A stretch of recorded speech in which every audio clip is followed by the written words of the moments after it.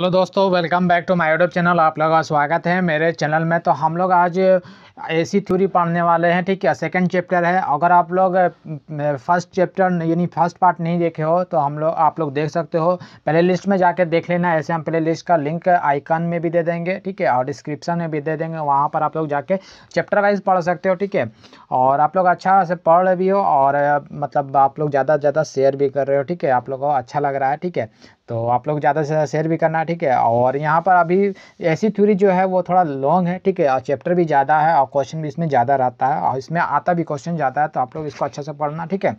और बाकी यहाँ पर आप लोग का डेली होता है लाइव, ठीक है? तो आप लोग इसको बने रहिएगा, और अभी देख रहे हो तो ज़्यादा से ज़्यादा शेयर भी कर दीजिएगा, ठीक है? चलिए, यहाँ पर एक और चीज़ बता देते हैं आप लोग को। अभी तक आप लोग मेरे व्हाट्सअप ग्रुप में नहीं ज्वाइन हुए हैं तो आप लोग ज्वाइन हो जाइएगा, ठीक है? यहाँ पर बहुत सारे स्टूडेंट हैं, ठीक है? और यहाँ पर आप लोग का देख सकते हो, बहुत सारे स्टूडेंट यहाँ पर ज्वाइन हो चुके हैं, ठीक है? यहाँ पर कोई भी नोटिफिकेशन या पीडीएफ आप लोगों को प्रोवाइड कर दिया जाता है, ठीक है? चलिए तो हम लोग अब क्वेश्चन को स्टार्ट करते हैं और ज़्यादा से ज़्यादा अभी शेयर कर दीजिएगा, ठीक है? उसके बाद आप लोग का आउट ऑफ़ कितना मारे हो ये भी बताना, ठीक है?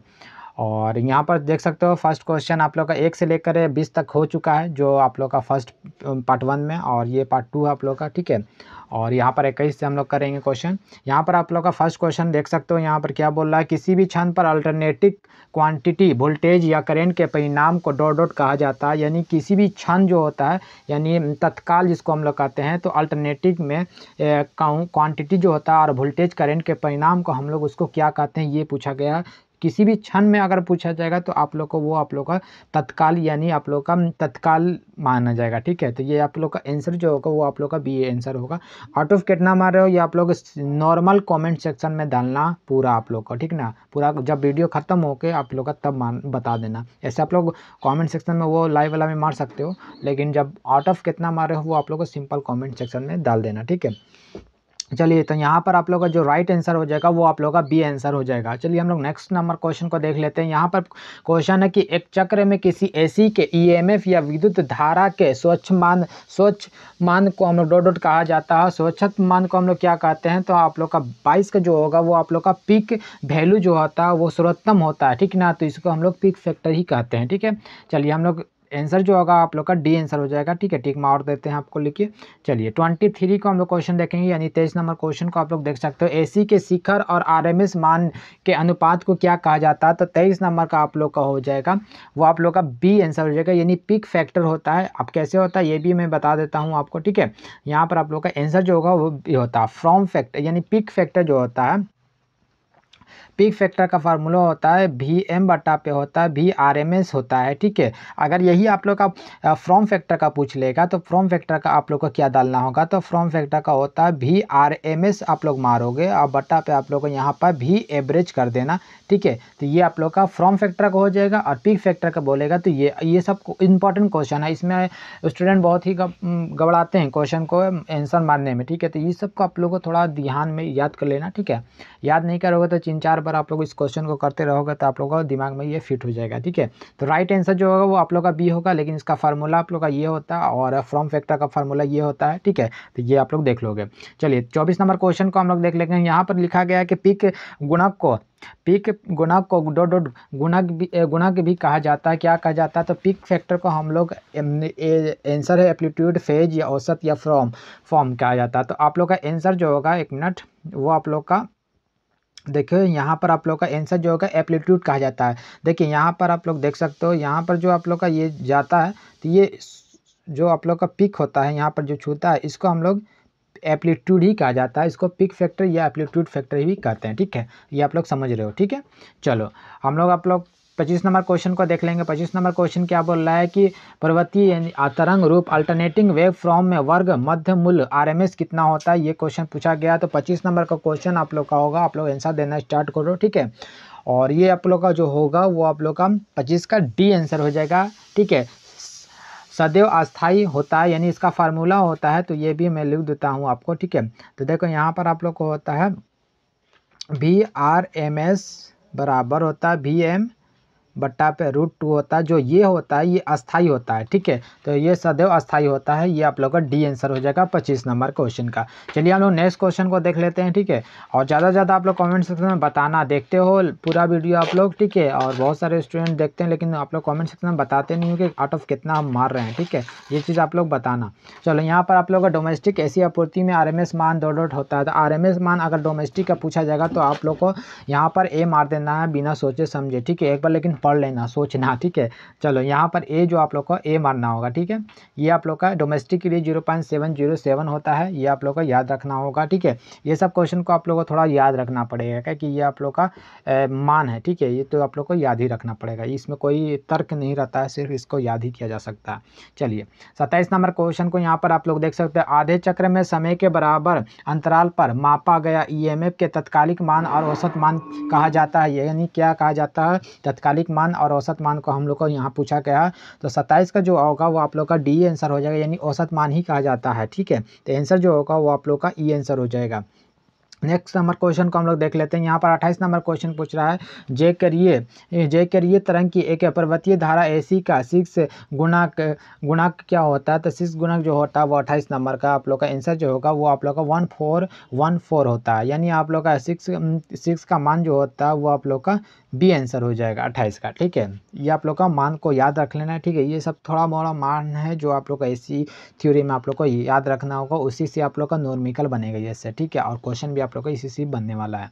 चलिए आप लोग नेक्स्ट नंबर क्वेश्चन को देख लेते हैं। यहाँ पर वेब फ्रॉम के चरम मान का आर एम एस मान से अनुपात क्या होता है? तो वेब फ्रॉम का जो चरण मान होता है, ठीक है, और जिसको हम लोग पिक कहते हैं, ठीक है, अधिकतम मान आर एम एस मान के अनुपात को हम लोग क्या कहते हैं? उनतीस का यानी ट्वेंटी नाइन का नंबर का क्वेश्चन हम लोग का ए आंसर हो जाएगा, यानी पिक फैक्टर ही कहा जाता है, ठीक है। तो आंसर जो होगा राइट आंसर आप लोग का बी आंसर हो जाएगा राइट चलिए हम लोग नेक्स्ट क्वेश्चन देख लेंगे, तीस नंबर क्वेश्चन होगा। अर्ध तरंग दृष्टकारी या जय तरंग का शीर्ष गुणक गुणक क्या होता है? तो तो आप लोग का तीस तीस नंबर क्वेश्चन जो होगा, वो आप लोग का देखिए, यहाँ पर आप लोग का आंसर जो होगा, वो आप लोग का बी आंसर हो जाएगा, ठीक है?